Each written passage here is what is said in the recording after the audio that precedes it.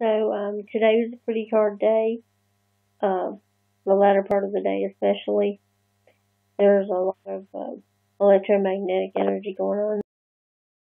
And uh, when he came in, he told me, he said um, something about uh, my overactive imagination and science fiction imagination.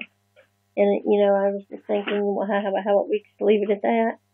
Uh, especially the fact that he's um, very detached and probably, uh, you know, we may be parting uh, company in, in a day or two um, because of the fact that um, he's so detached. He's always been that way. He has um, mixed emotions toward women. Um, there's nothing I can do about that. I mean, to change him or anything.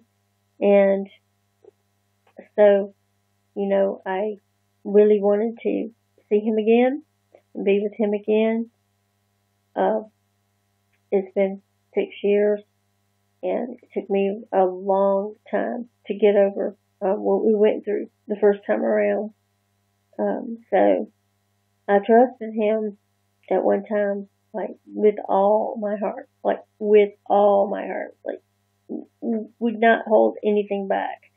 And, uh, you know, I learned that,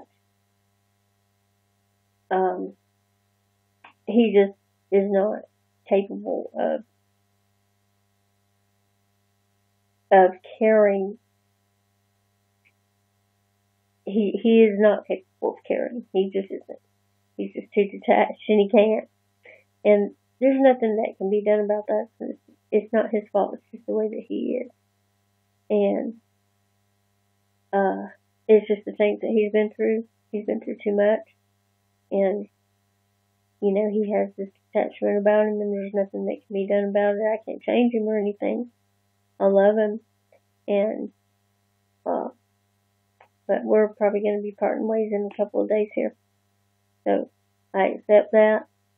I accept everything that's happened, and we'll just go on from here. Have to trust God and uh, just go on from here and leave it at that. But he's um, done the best that he could, uh, considering this is just who he is. So, you know, I don't regret coming. Uh, I'm glad that I did come and that I got to see him. Didn't want anything else to happen before I could be with him one more time. And